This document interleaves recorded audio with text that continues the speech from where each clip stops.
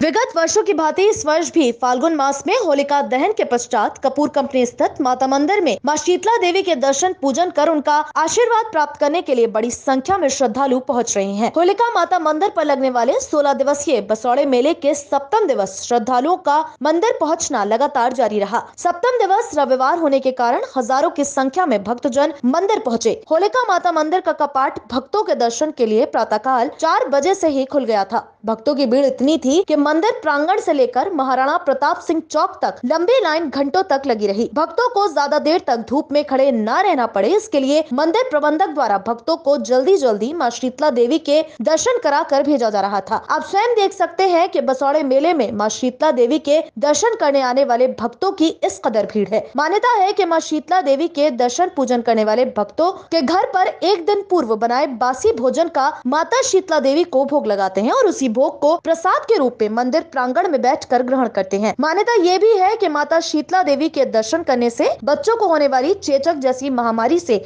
जहाँ एक और बचाए रखा जाता है तो वहीं मंदिर में पहुँचने वाले भक्तों की सभी मनोकामनाएँ पूर्ण होती हैं। मेले में नाना प्रकार के स्टॉल भी सजाए गए और मनोरंजन के लिए कई खेल आदि भी लगाए गए थे मंदिर प्रांगण में किसी भी प्रकार की कोई व्यवस्था खराब न हो, इसके लिए पुलिस प्रशासन द्वारा मंदिर परिसर के साथ साथ मंदिर के बाहर लगाए गए पुलिस कर्मियों द्वारा मेले के चप्पे चप्पे पर घूमकर व्यवस्था बनाए हुए थे और हर आने वाले नागरिकों पर पैनी नज़र रखे हुए थे। रविवार होने के कारण ज़्यादा भीड़ भक्तों के आने की वजह से पुलिस प्रशासन भी अलर्ट नज़र आया। कोई भी श्रद्धालु माता के दर्शन करने के लिए उल्टे रास्ते से न आए और पुलिस व्यवस्था को न बिगाड़े। इसके लिए भी पुलिस कर्मियों और भक्तों के बीच झड़प हुई। बावजूद इसके, पुलिस प्रशासन द्वारा पूरी तरह से व्यवस्था बनाई गई, लेकिन देखने को मिला कि शासन और प्रशासन द्वारा कोविड 19 गाइडलाइन का पालन कराने के लिए जो निर्णय लगातार जारी किए जा रहे हैं, वे मंदिर परिसर में बहुत ही कम देखने को मिले। ना तो लोग चेहरों पर मास्क लगाए हुए थे और ना ही मंदिर परिसर के किसी भी कोने में सैनिटाइजेशन की व्यवस्था थी।